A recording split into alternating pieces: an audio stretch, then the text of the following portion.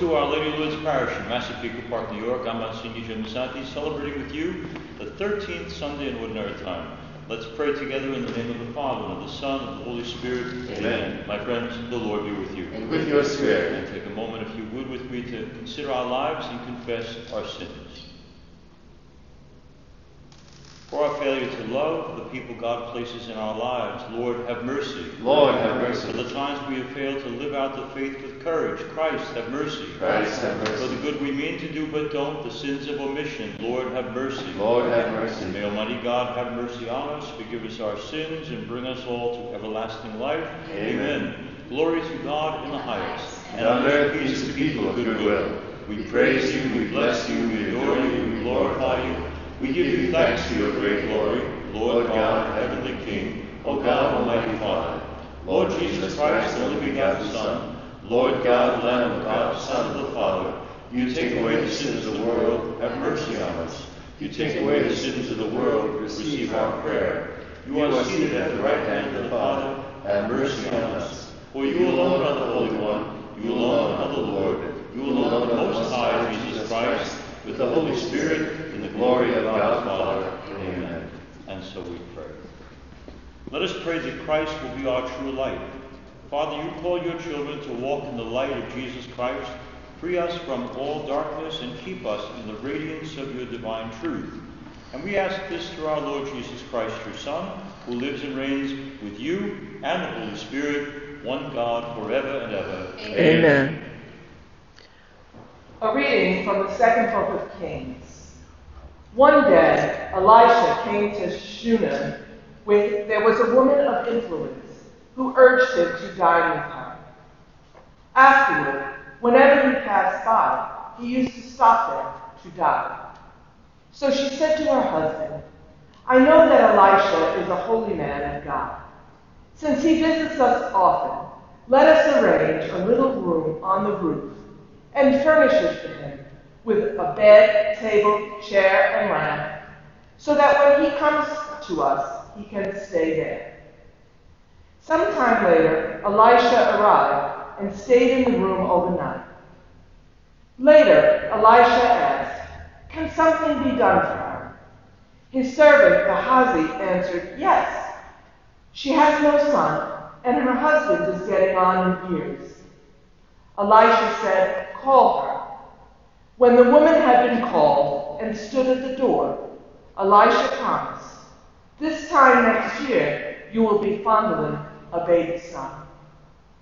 The word of the Lord. Thanks be to God.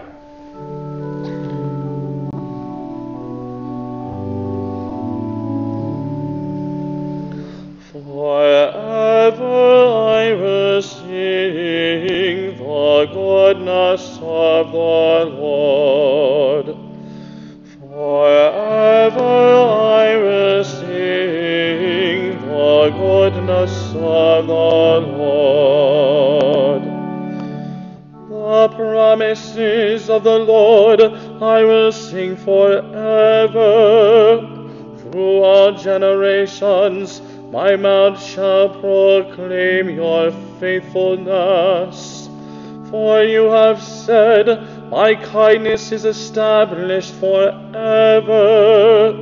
In heaven you have confirmed your faithfulness. Forever I will sing the goodness of the Lord. Blessed are the people who know the joyful shouts. In the light of your countenance, O Lord, they walk. At your name they rejoice all the day, and through your justice they are exalted. Forever I will sing the goodness of the Lord. You are the splendor of their strength, and by your favor our horn is exalted. For to the Lord belongs our shield, and to the Holy One of Israel our King. Forever I will sing the goodness of the Lord. A reading from the letter of St. Paul to the Romans. Brothers and sisters, are you unaware that we who were baptized into Christ Jesus were baptized into his death? We were indeed buried with him through baptism into death, so that, just as Christ was raised from the dead by the glory of the Father, we too might live in the newness of life. If then we have died with Christ, we believe that we shall also live with him. We know that Christ, raised from the dead, dies no more. Death no longer has power over him.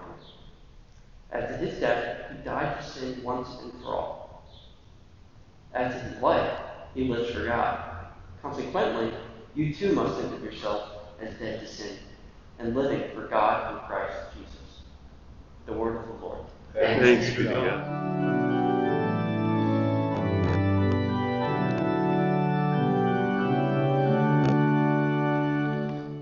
Alleluia, Alleluia,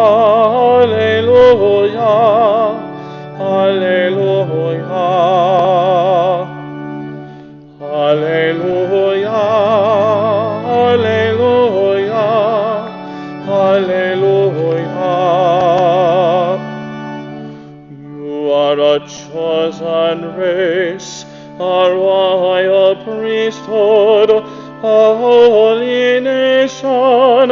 Announce the praises of Him who called you out of darkness into His wonderful light.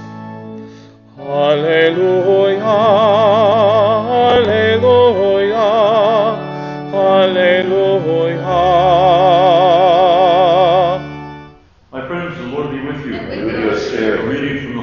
Gospel according to Matthew. Glory to you, Lord. Jesus said to his apostles, Whoever loves father or mother more than me is not worthy of me. And whoever loves son or daughter more than me is not worthy of me. And whoever does not take up his cross and follow after me is not worthy of me. Whoever finds his life will lose it, and whoever loses his life for my sake will find it. Whoever receives you receives me, and whoever receives me receives the one who sent me.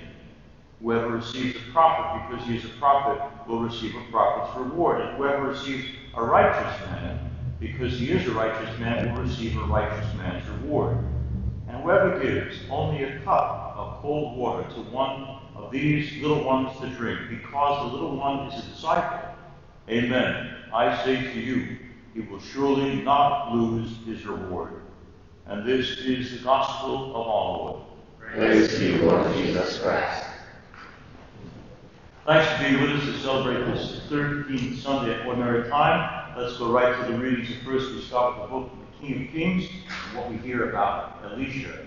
Um, I think what Elisha is showing us is that God is grateful for kindness to strangers and to those who are one with Him. That's one point of this reading. But the other thing is that the gift of life is one of the ways that God says He loves us, and that that gift of life comes from above. Now, we have in recent times decided we are the authors of life and the controllers of life, and we make all the decisions. But very clearly in this reading, what we're hearing is something quite the opposite that the gift of life is always from God. That when you or I are given the blessing of family, it's because God has granted us that gift. And we are to treasure it as something divine. Not something man controlled, not something we decide or have authority over, but the gift of God. I wish we could get that sense back of recognizing that every person comes into the world as a grace or as a gift given to us by God. I often say at baptisms that this child is a miracle. And of course, the child is, because that child comes from God and is uniquely, wonderfully made. It is this reading, I think, a way of God saying to us that every time a life comes into the world, it's a special and unique gift from the Lord above. Not something we created alone, but we created with the help and grace of God. I say to every mom and dad, there are three of you in this process of creation. There's you, Daddy, and you, Mommy, but there's also God. who is the author of life, celebrated through Elisha's gift to this woman, allowing her to be a mom, and that was something she so wonderfully wanted. We are in our culture continuing to diminish the idea that life comes from God. We have made ourselves God in so many ways. We control it all. It's up to us. Nobody can tell us what to do. And I, I think this is a gentle reminder, this passage from King of Kings, that in fact we are people, the book of Kings, I should say, we are called on to recognize that every human life is something we cooperate in bringing forth with the grace and with the power and with the miracle of God's creation. Okay, let's go to that second reading, St. Paul to the Romans. You know, when you come out of the experiences I have recently of losing somebody you love, it is so easy, as a matter of fact, very tempting, to focus on the moment of or the experience of death because it's so overwhelming. It's such a crushing emotional experience. I think this reading is reminding us that long ago, in Asbury Park, New Jersey, where my mom was baptized, she entered into a covenant relationship with our Lord where he promised Cecilia, look, uh, you're going to die with me in this baptism, but also because of my resurrection, you're going to rise with me. This reading from St. Paul is saying to us, please don't focus so much on death that you lose sight of the fact that death is conquered by me, and that our story is not about our death. Our story is about moving through death to eternal life. And it's something we need to remind ourselves, I think, particularly when we're in the period of mourning grieving, that this is part of the passage that leads to eternal life. And, as I've said many, many times in my priesthood, Jesus makes you a promise. You can take it to the bank, which is my way of saying, if Jesus tells you something is true, you can believe it. And he's saying to us in no uncertain terms, we, who have been welcomed into his family through baptism, are also, by extension, welcomed into the kingdom of heaven because he takes us with us through the mystery of death and shows us the glory of eternal life. The more faithful we are to him through our baptism and living out of our baptism, the more he welcomes us joyfully to heaven. The end of the story is not death. And I think for a lot of us, we need to be reminded of that because death can be such an overwhelming and sometimes consuming mystery as we try to figure out why we die. We die because it's the passage to something glorious that passage to eternal life. And finally, to this gospel. I think a couple of things are going on in the Gospel of Matthew. Um, I think we're being reminded by the first couple of uh, paragraphs, which are tough, you know. Jesus is saying you're either with me or you're against me. You're either fully in or not. I want to hear about that person who is wishy-washy when it comes to me. Uh, it, it's, it's hard, these first few lines of the gospel, because he's saying to us, look, either come in or leave, but I'm not going to have you be persons who step in occasionally to be my followers. You're all in or you're not. You can't pick and choose and say, well, I'm with Jesus when it's easy, or when he calls me to stuff that isn't so hard to live. I'm with him all the time. And I'm with him even in those moments when I may even disagree with what he has to say, but I trust the Lord is God. And I will follow his command. And I will do what he calls me to do. That's not easy to do. I think, in fact, it's a challenge for all of us. You may be a layperson or priest or religious, but there are times when the demands of Christ to live a certain life are not easy for any of us. But he's saying to us in this reading, join me, be one with me, be all in. And he's inviting us to do that. And that's not something our culture finds easy. We like to pick and choose. We like to decide that I get to decide everything. If I like the confidence to say, I'm all in. But if I don't like it, then I can walk away. Just this week, in fact, I found it interesting. 30 self-proclaimed Catholic Democrats in Congress uh, came out with a statement supporting and saying it's a religious reason why they support the unrestricted right to abortion. It's just amazing to me. It was published on behalf of Rose DeLauro, uh, an 80-year-old congresswoman.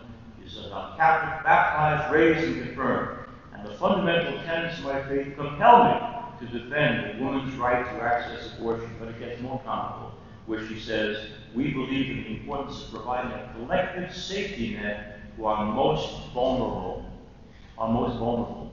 Who in the world could be more vulnerable than a developing and evolving child in the womb who depends on all of us to protect him and her? And yet they're in some way that the right to terminate a child through the full nine months of pregnancy is part of the safety net for our most vulnerable.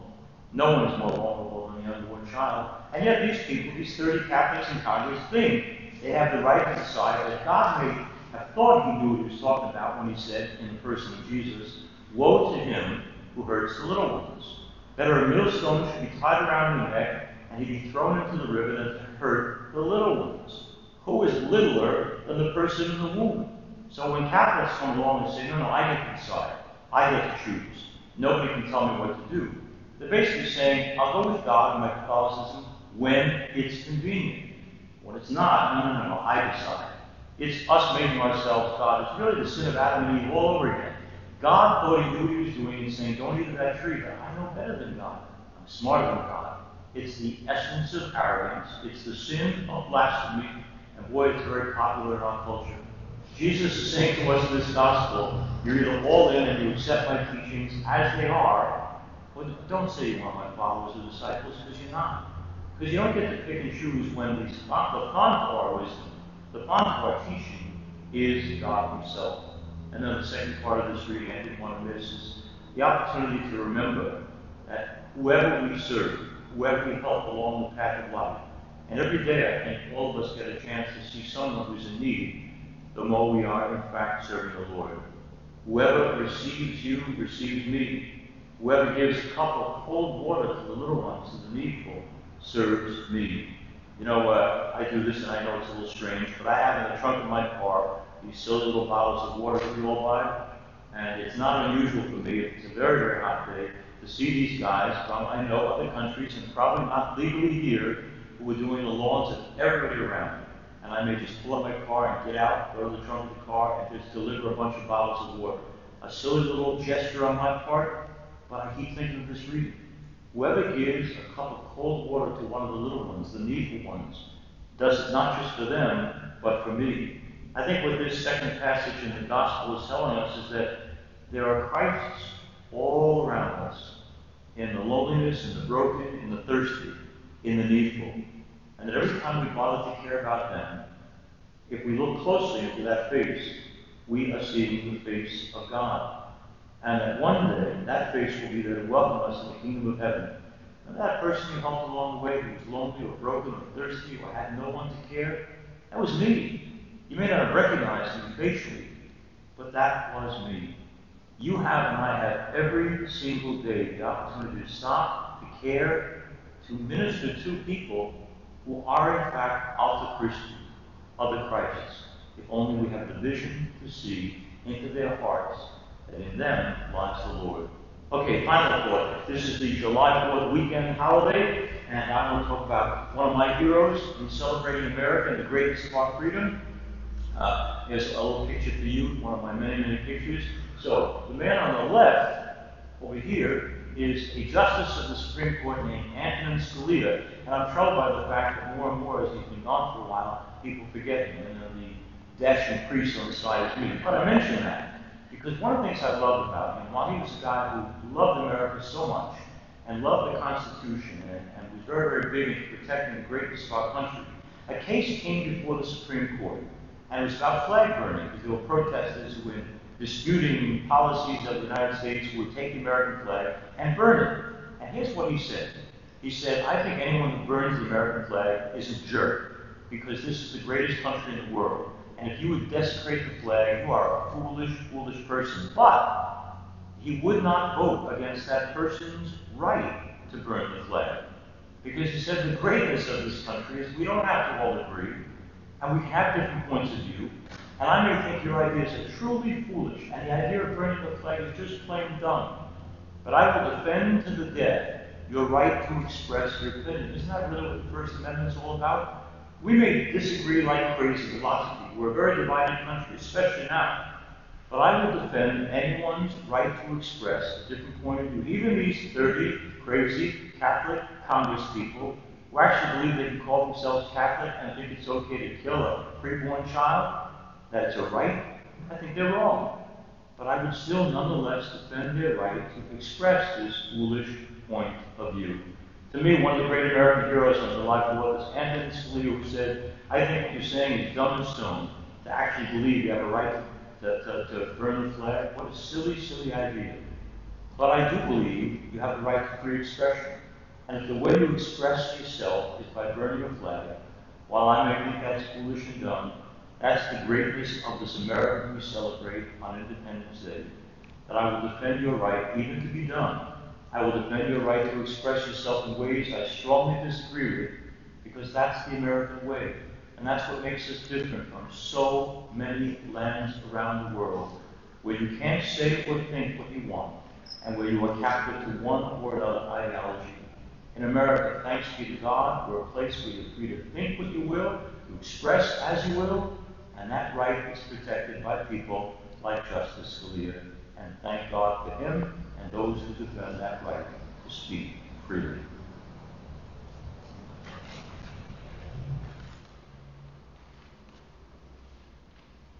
I believe in one God, the Father Almighty, maker of heaven and earth, of all things visible and invisible.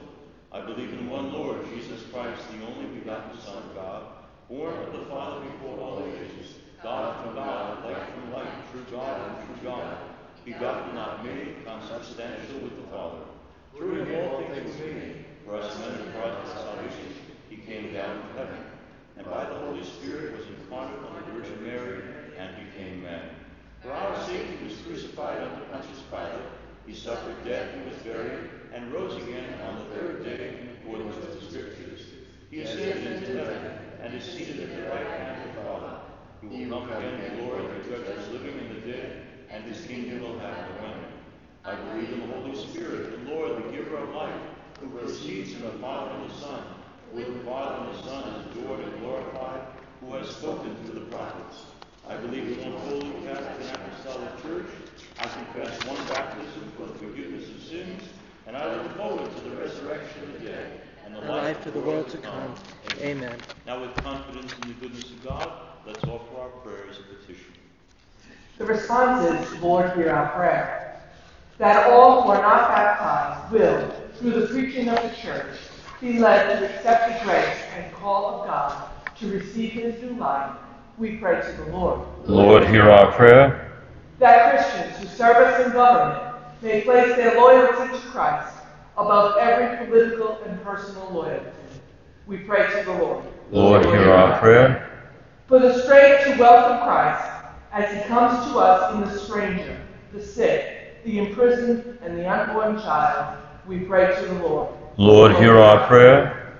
For those in our parish and family members who are ill, may enjoy the consolation of the Lord and the presence of their loved ones, especially baby Venus Scattis, Deacon Dominic Valdara, Giuseppe M. Giordano. We pray to the Lord. Lord, hear our prayer. For those who have died, especially Genevieve Mancusi, Adeline Trentacasa, and Marianne Shikenzian, we pray to the Lord. Lord, hear our prayer for the intentions of this Mass, Theodore Yabamaki, Mary Claire Brennan, the Purgatorial Society, Grace and Salvatore Bambinelli, Cecilia Lisante, Frank Jerry Donofrio, Cecilia Lisante, Pasquale Barbuda, Suzanne Baranski, and Donna Brasso whom we remember at this Eucharist, we pray to the Lord. Lord, hear our prayer. And let me add some intentions if I can. First, for those who are sick, I want to pray. My friend Linda has asked me to pray for her sister Judy down in Florida. Praying for you, Judy, and your well being. I continue to pray for my grammar school classmate Tommy Burke and his well being. Among the sick, I also pray for Judge Tony Falanga, dear friend. Pray for Joanne Cabacini, Tim Moore, Kimberly Cusack, Christine Bauman, Michael Chanover, Pray for Jeanette Chanover Davidson, Carol Silva, Nelwyn Randisi. I pray for Joe Falgiano, dear friend, Anthony Cremi. Pray for Kathy Bordengo. Kathy's had a tough couple of weeks, but she's coming out of it. Pray for Nancy Doherty. For Tom Miller. Again, Tom, we're praying for you every day for your well being. Ginny Rivera. I pray too for Courtney Genovese, Jose E. Senna, Jimmy Collins, Anthony Crimi, Tom Sedita. Pray as well for Annette Romans, for baby Oakley, for Justin Doherty. Pray for Mary Pat Sears, Dario Rivera, uh, Anthony Pastorino, Carol Pablo Eshandi. I pray for all the Paratine family, for Angelo and Al Clementi, for Leanne Lisante, for Katie O'Connor, for Bob Nigro. I pray for Judy Alaco, I pray for all prisoners of conscience fighting for freedom, especially Jimmy Lai in prison in China. Pray for Larry Lewis, for Millie Paradiso, for Patricia Stewart. Pray for Ursula Vobis, Connie Ibanez, Maria Cavioli, and all the members of the McShay family. Among those who are sick, let me remember Teresa Leo Fisher, for Larry Meyer, for Joseph Griffeo. I pray for Vilio Bronzini, for Andy Stefano. I pray for all of those who are suffering mental illness of any kind and for the well being of them and their caretakers. Pray for Courtney Desjardins, Tommy Swengros down in Virginia, for Mary and Ken Johnson. Pray for Patrick Kuchius and Elizabeth Carter. Among the sick, I pray as well for Martin Soval, for Sam and Beverly Maggio, for Janet Chevelle, for Russell Castro Giovanni, for Donna Elliott and her continued recovery from surgery, for retired Major Resty Malari. Pray as well for Michelle Spinelli, Ray McGrath, Brian and Kathy Rogers, Karen Guadagno, for Valeria Barcheskis, and for uh, Annette Salinitro. Pray for Susie and Vinnie Bignardi, for Margaret Ann Stizer, for Rose Madonna, and for my classmate Pat Reynolds. I pray as well for uh, Glenn Mankin, for Frank Matassa, for Kathy, um, who is the sister of our friend Helen, who works at the rectory. I pray too for Father Bob Lebrano. I pray as well for Christy Hernandez, Christian Hernandez. I pray as well for Rose Marie, who's been facing some health challenges lately, and for Dina Cellini Clancy. Let me pray too, finally, among the sick for Bill and Fran, who are the parents of my friend Martha Formato. Pray for Jack and uh, all who are dealing with irreconcilable families. Pray for Lisa Schwartz, uh, who has been recovering from an amazingly serious motorcycle accident, and her fiance. Uh, I pray too for Billy Sarasoli. He's had a heck of a week in the hospital. Billy, we're praying for you, for Chuck, Kathy, and Stacy Mish. Stacy's having her baby girl as we speak.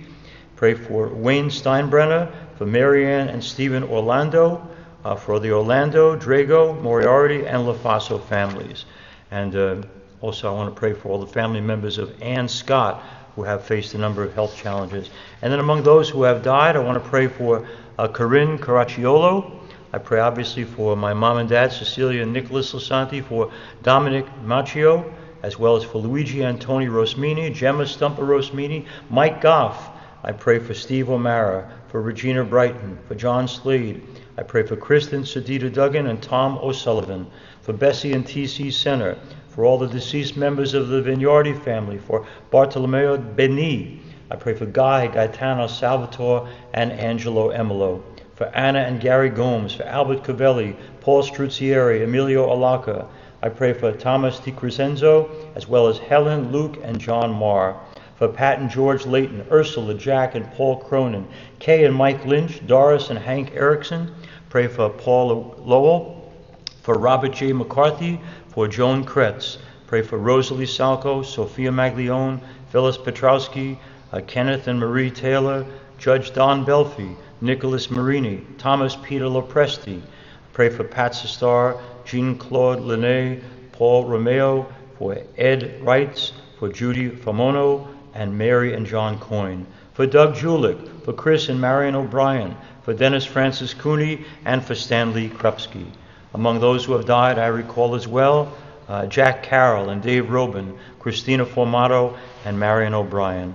I pray for Billy and Michael Sarasoli, Mary and Joseph William, Kathy Orofino, Margaret O'Connell Lisante, Kenny Belando, John Maureen, Ann, Ed, Mary, and Peter Raber.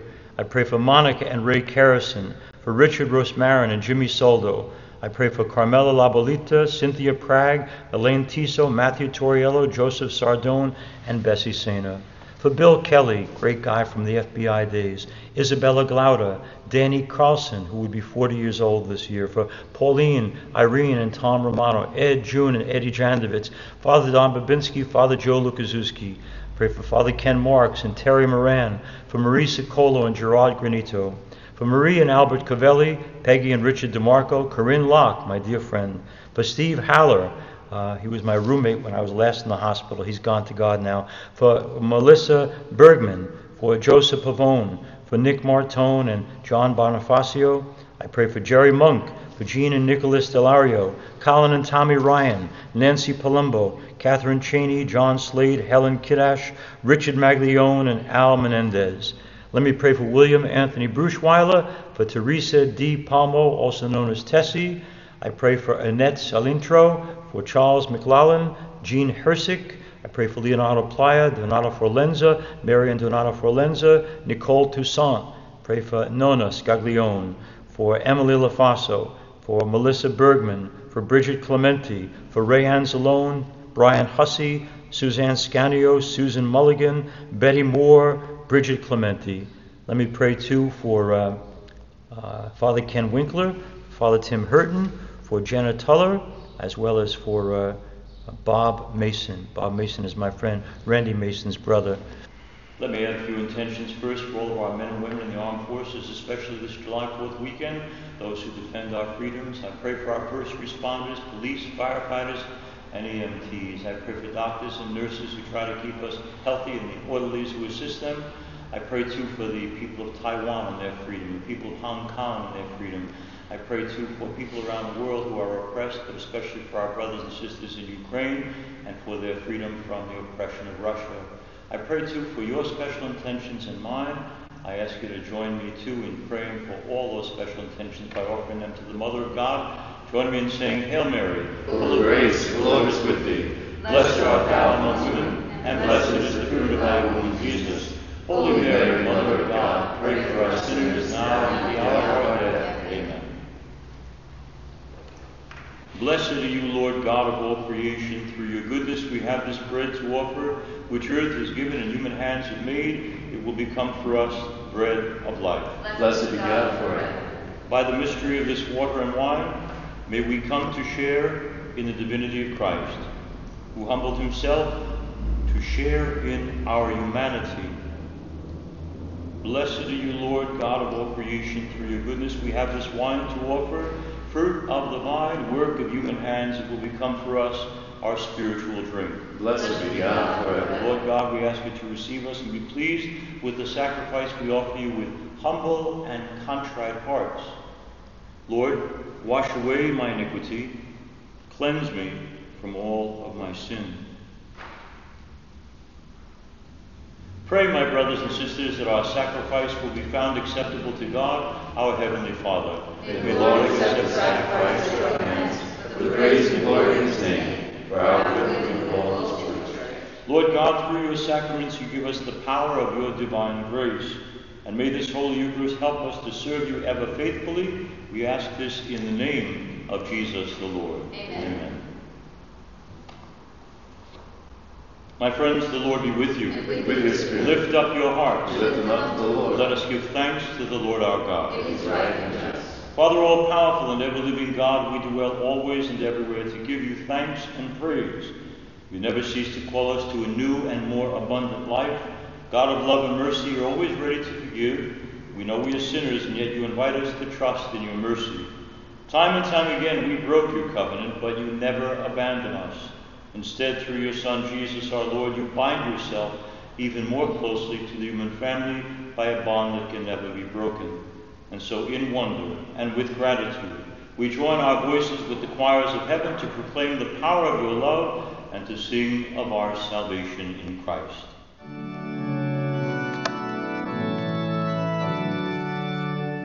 Holy, holy, holy, Lord God of hosts, heaven and earth are full of your glory. Hosanna, Hosanna in the highest. Blessed is he who comes in the name Lord. Hosanna, Hosanna in the highest.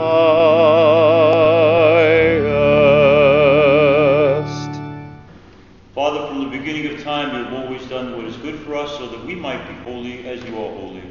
Look with kindness on your people gathered here today before you, and send forth the power of your Spirit so that these gifts of bread and wine may become for us the body and blood of our Lord Jesus Christ, in whom we have become your sons and your daughters.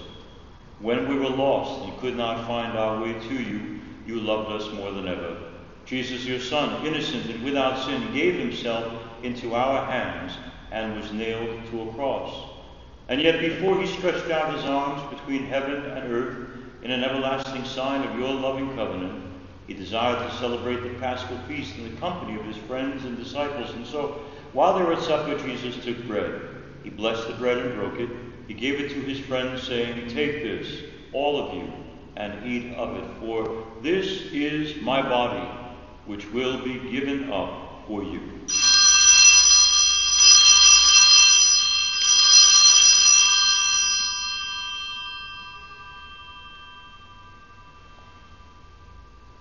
When supper was ended, Jesus took a chalice filled with the fruit of the vine. Again, Father, he thanked you for your goodness, gave the chalice to his disciples and friends, and he said, Take this, all of you, and drink from it, for this is the chalice of my blood, the blood of the new and everlasting covenant, which will be poured out for you and for many for the forgiveness of sins. Do this in memory of me.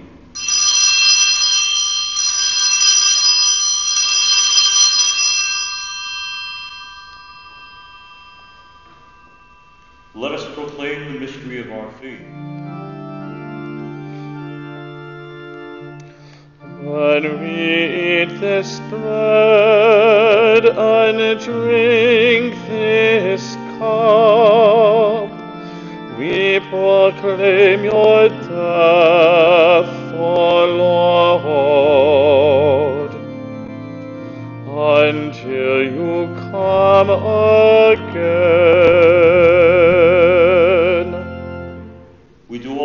Memory of Jesus Christ, who is our Passover and our lasting peace. We celebrate his death and his resurrection, and we look forward to the coming of that day when he will return to give us all the fullness of joy. Therefore, we offer you, God, ever faithful and true, this sacrifice which restores us to your friendship. Father, look with love on those who have called to share in the one sacrifice of Christ, and by the power of your Holy Spirit, make us all into one body and heal us of every division. Keep us always in communion of mind and heart with Francis our Pope, John our Bishop, along with all the bishops, the clergy, the religious, and all of God's people. Help us to work together for the coming of your kingdom, until at last we stand in your presence to share in the lives of the saints, in the company of Mary, the Virgin Mother of God, with Saint Joseph, her devoted spouse, and in the company, too, of our dearly departed brothers and sisters, relatives and friends. Let's remember them now and offer to them the prayer of eternal life.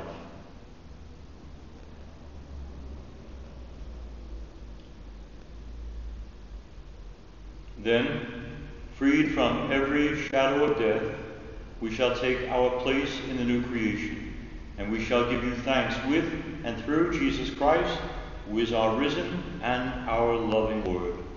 Through him, with him, in him, in the unity of the Holy Spirit, all glory and honor is yours, Almighty Father, forever and ever. Amen,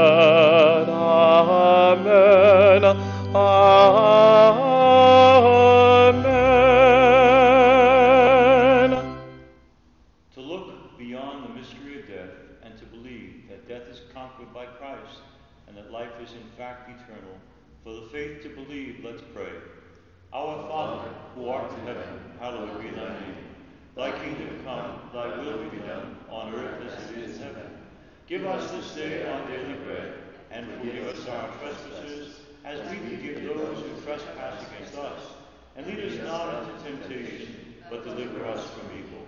Deliver us, Lord, from every evil, and grant us peace in our day. In your mercy, keep us free from sin. Protect us from all anxiety, as we wait in joyful hope for the coming of our Savior, Jesus Christ. For the kingdom, the power, and the glory are yours now and forever. Lord Jesus Christ, you said to your apostles, I leave you my, my peace, my peace I give to you. Look not on our sins, but on the faith of your church, and grant us the peace and unity of your kingdom, where you live and reign, one God, forever and ever. Amen. May the peace of the Lord be with you always. With your spirit.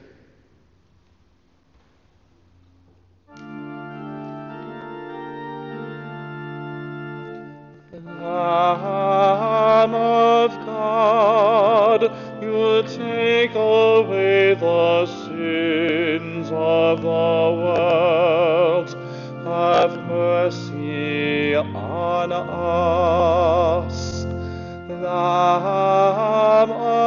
God, you take away the sins of the world. Have mercy on us. Lamb of God, you take away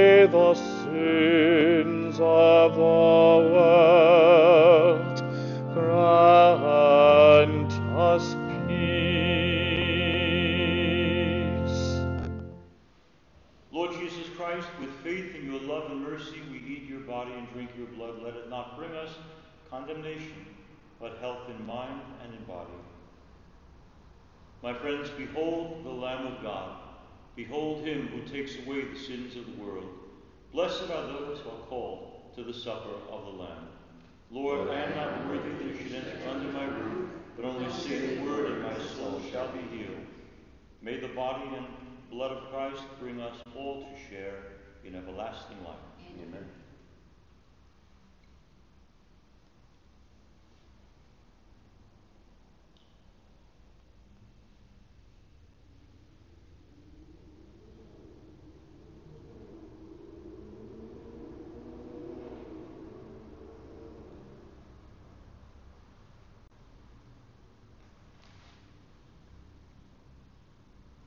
Spiritual communion.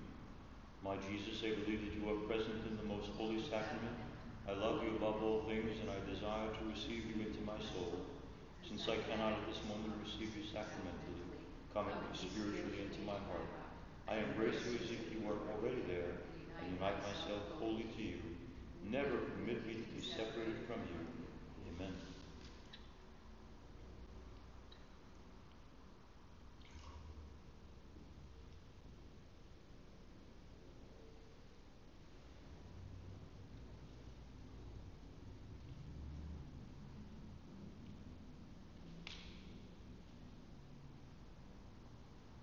Just a couple of announcements. One would be, you know, before the pandemic in our parish, we offered an 8 p.m. Mass Monday through Friday. And then, of course, the pandemic put an end to all that. But we have since then gone back to a, an evening Mass one night a week on Wednesday at 8 o'clock.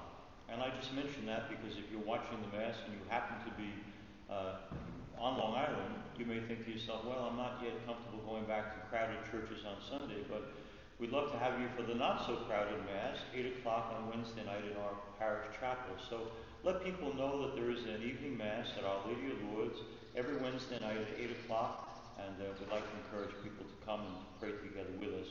Please give that a thought if you would.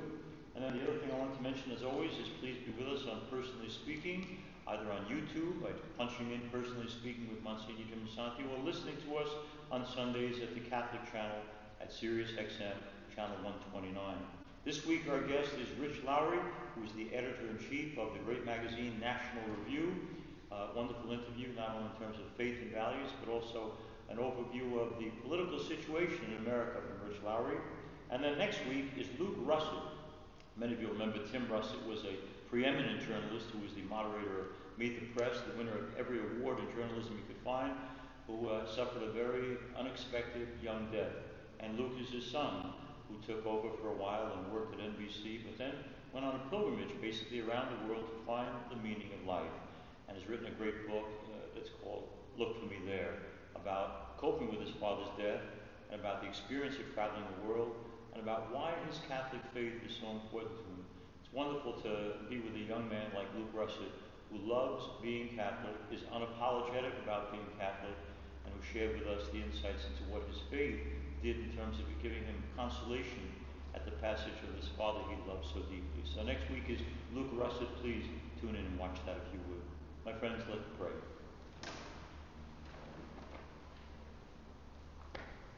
Lord God, may this sacrifice and communion Give us a share in your divine life, and may it help us to bring your love to a needful world.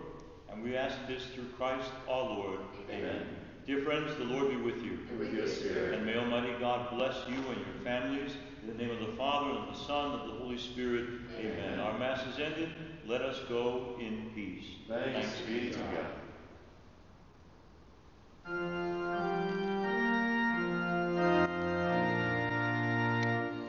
For beautiful, for spacious skies, for amber waves of grain, for purple mountain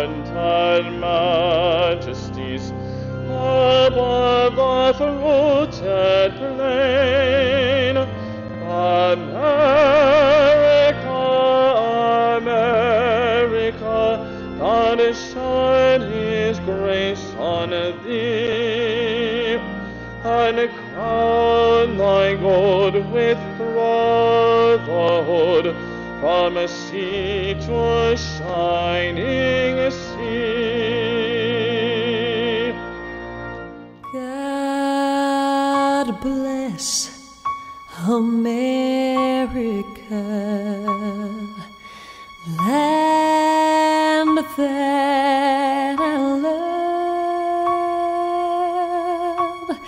Stand beside her and guide her through the night